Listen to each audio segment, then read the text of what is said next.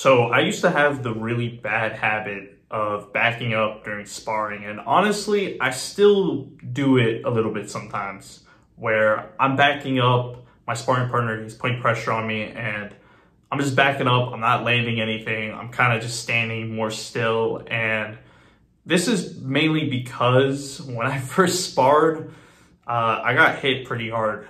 And I remember, I think this was like the first or second time that I sparred um, my sparring partner didn't even mean it, but he hit me with a fucking head kick. And yeah, that was painful, man. And because of that, you know, ever since I've had that bad habit of really just backing up, especially on people that, you know, are pretty skilled in the gym, that have been there a bit longer. And I would just keep backing up on them, even against sort of newer people.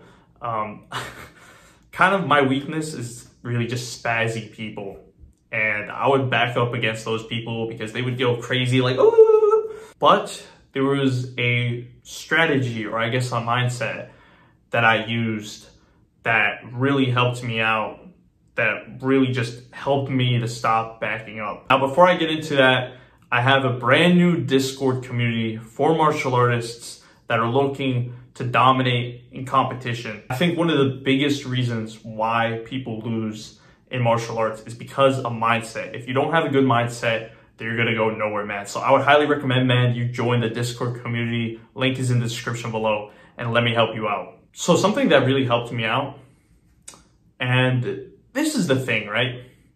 We always overthink and I have this problem when I'm sparring and I'm overthinking, okay, like I'm trying to like find the opportunity to land the right hand and that's great and all, but to have that thinking of, okay, you know, being more technical and trying to figure out like, okay, this is the good opportunity to land my jab. When you're a beginner, I honestly don't really think that's a great idea. I think the high tier fighters like UFC fighters and all that, I don't even think that they really think actually. They kind of just, it comes naturally. Like it comes naturally to sort of set up traps and to, you know, counter and throw that right hand. It comes a lot more naturally. They don't really think about it. And this is something that I realized. It's better to just turn off your brain. Just turn it off completely. Don't even think. Just throw. Like just work, you know, throw your jab, throw your one, two, throw right hand here and there. Don't really think it through. Just work off your brain completely. Don't think about, okay, I'm going to land this combo, that combo. Just turn off your brain, don't think, throw. Like, that's it.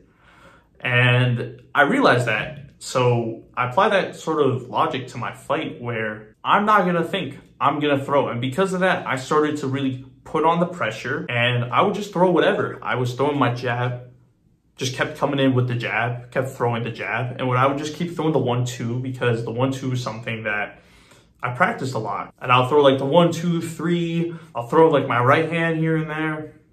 And that was it. Just applying the same sort of combos that I practiced the most in practice. I would just apply it to my fight and I wouldn't think about it. And maybe this sort of mindset isn't good later on when you're going against more technical fighters and you have to kind of think a little bit. I don't really think even the highest tier fighters really think. They just, because they've been practicing certain combinations and traps for so long, it just comes naturally. And I think this is a problem that I really had where I would just overthink. And because of that, I would just end up backing up completely.